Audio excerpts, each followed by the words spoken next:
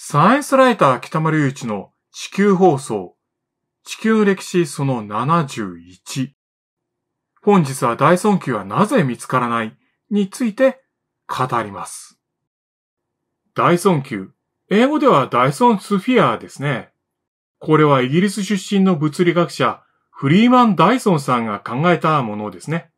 太陽を殻で覆って太陽のエネルギーをすべて利用するアイデアです。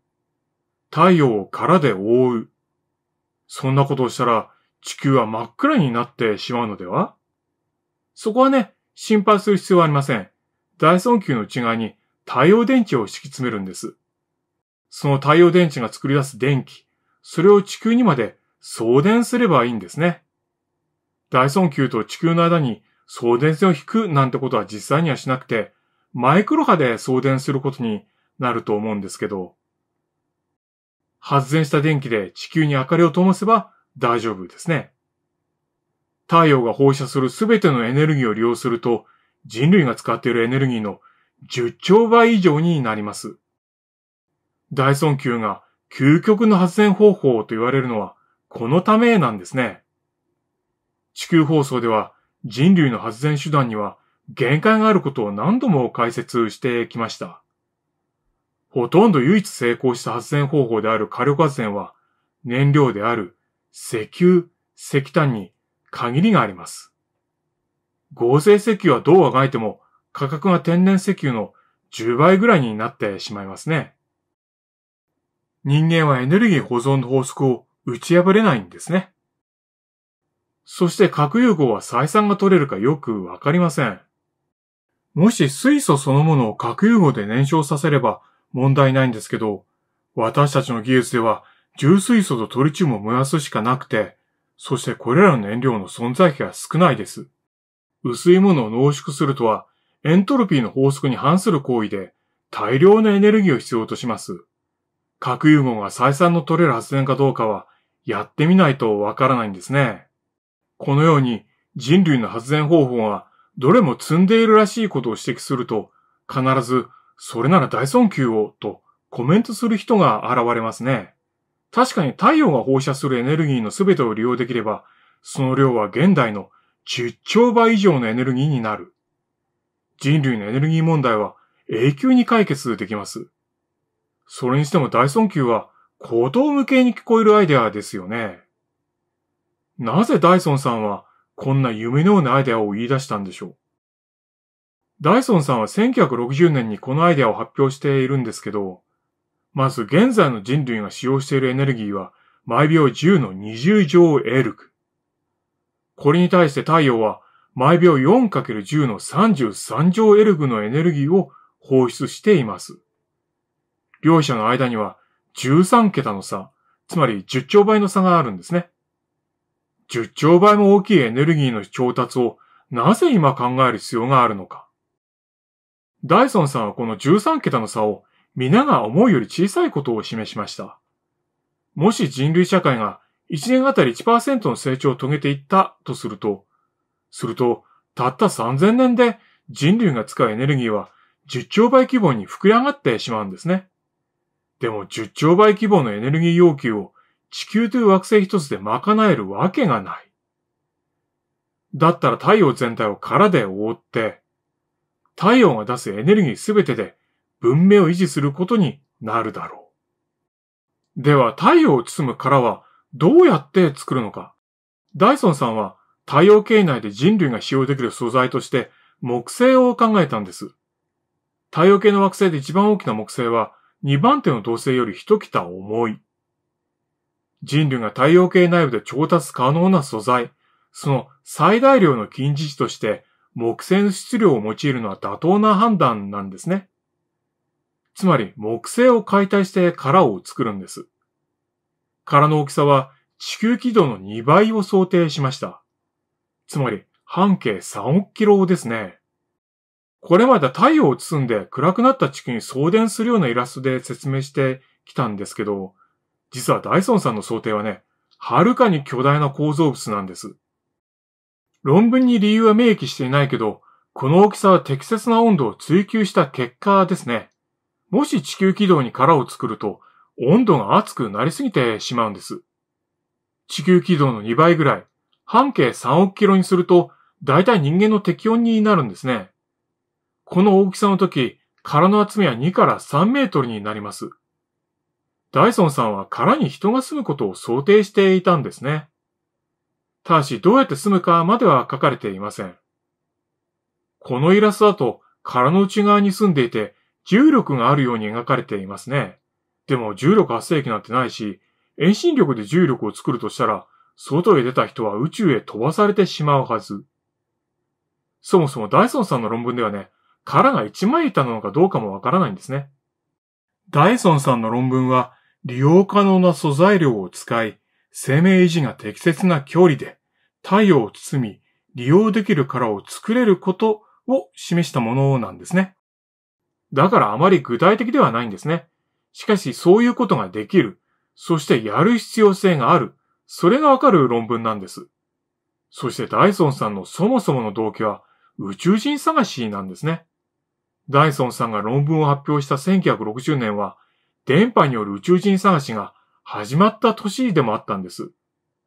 これに対してダイソンさんは赤外線による宇宙人探しを提案したんですね。それがこの1960年の論文なんですね。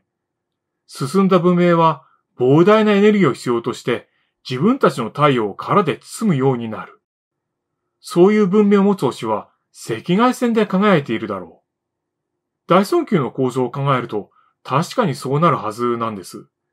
知的生物がエネルギーを得ようとして自分たちの太陽を殻で覆うと、当然光は消えて星は見えなくなってしまいますね。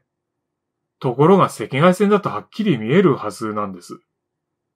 なぜなら中に燃え盛る構成が太陽が入っているからですね。大尊級の内部が生命の維持に適切な温度だとした場合、大尊級の外側は20度からマイナス70度になって赤外線を放ちます。地球軌道の2倍もある巨大な天体で光らず赤外線を放つ星。こういう天体を見つければ、それは宇宙人の構造物である。これがダイソンさんが赤外線で宇宙人探しをしようと提案した理由なんですね。地球のような生まれたばかりの機械文明であっても、1%の成長を3000年続ければ、恒星のエネルギーをすべて必要とする。だから殻を作って恒星を覆うようになるはず。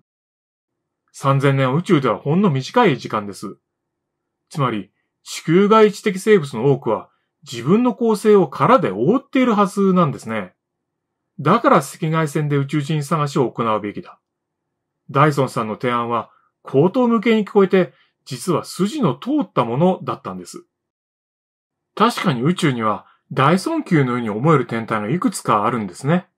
魚車座イプシロン星、これもその一つです。魚車座イプシロン星は二重星です。二つの星からできている。イプシロン星の周辺をお供の星が回っているんですね。このお供の星は円盤状になった塵の雲に覆われていて見えません。何やら大尊級のように見えるんですね。でもこの塵の雲は大尊級ではないんですね。温度が280度もあるんです。ダイソンさんは見えないお供を持つ星を探せと言いました。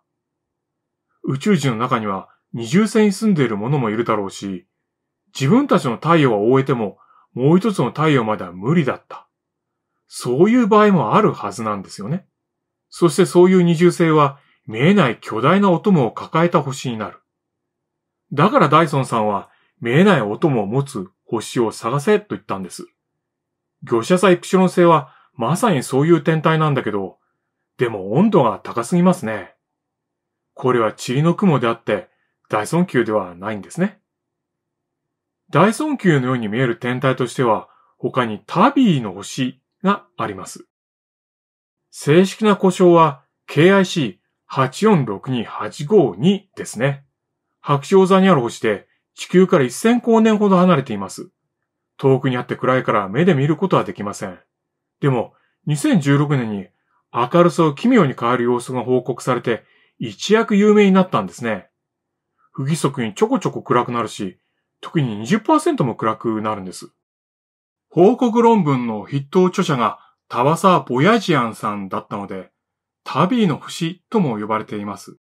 タビーの星の周りには、これまた塵や氷の雲があって、多分これがぐるぐるぐるぐる動いているんですね。そして時々大きな雲がタビーの星を隠して暗くするんです。このありさまは確かに大尊級を思わせますね。しかしタビーの星を隠すこの雲、とても冷えているらしいんです。なぜなら赤外線が出ていないんですね。この絵では分かりやすいように星の近くに雲があるように描いたんですけど、実際にはね、星に温められないぐらい星から遠くを回っているんですね。こんな離れた場所に発電機を置く人はいないから、やっぱりタビーの星も大尊級ではありませんね。結局ね、大尊級は見つかりませんでした。人類が順調に経済と社会を発展させれば3000年で到達できる文明。技術力を持つ文明なら誰でも到達できるはずのものが見つからない。それはなぜなのか。これはね、多分理由は単純なんですよね。大尊級は降り注ぐ太陽エネルギーで活動して維持されるはずですよね。つまり、1平方メートルの維持費は1平方メートル分の太陽エネルギーで賄う必要があるってことです。これ今の太陽光発電と変わりないですよね。しかも実際には大尊級には厚みがあるんですよね。だから平方メートルの太陽エネルギーで立方メートル維持管理しなければいけない。ソーラーパネルがどこまで行っても補助金頼りなんですから、この時点で大尊級はね、収支決算が破綻しているんですよね。一応言いますと、平方メートルで立方メートル維持する技術はあります。植物っていう技術なんですけどね。植物は葉っぱという平方メートルで体という立方を維持しています。だから多分、大尊級の人々はね、焚きに割りして生活しているはずなんですよね。私たちは植物以上のものを作ることができませんでした。こう考えると、大尊級がなぜ存在しないのか説明できます。大尊級を黒字にするなら、植物で作らないといけないし、それでは機械文明を維持できないんですね。だったら大尊級を小さくして、もっとエネルギー密度の高い太陽の近くで発電すればいいのでは？無理がありますね。エネルギーの密度が高いと高温になります。機械が次々に壊れて、維持費が膨らんでいきますね。どうにもなりません。つまるところ、エネルギー問題は最初から積んでいたんです。欧米の知的エリートは再エネでエネルギー問題は解決した。人類は宇宙へ行って繁栄すると無邪気に信じているけど、そんなことあるわけがないんですね。夢物語が破綻する運命にあるし、実際すでに破綻しています。そうです。僕らの行き着く先はすでに決まっていたんですね。それは草文明。再エネは物理的に破綻して、化石燃料を使い尽くして、樹木さえも切り尽くして、草に頼る草文明。第58回放送で見せた草文明の未来に絶望した人もいたけど、でもね、すべてを失ってもなおかなりなことができるんですね。研究発酵で作られたメタンを使えば、みんなが数字を行って、ロケットを飛ばして気象衛星を打ち上げることができる。水力が限定的に残るから、その電力で化学肥料を合成、食料生産を維持する。スターリングエンジンを使えば、電気がなくてもエアコンは動作可能。すべてを失っても、これまであった技術で相当な利便を維持できます。あれもダメ、これもダメでは面白くないですからね。エネルギーを失ってもなお残る未来への確実な希望を次回は語ります。